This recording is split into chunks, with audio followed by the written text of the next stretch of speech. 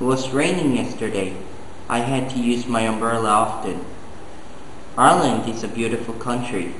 The countryside has so many plants and animals. There are so many things to do. Earlier today, I went to St. Patrick's Day Festival.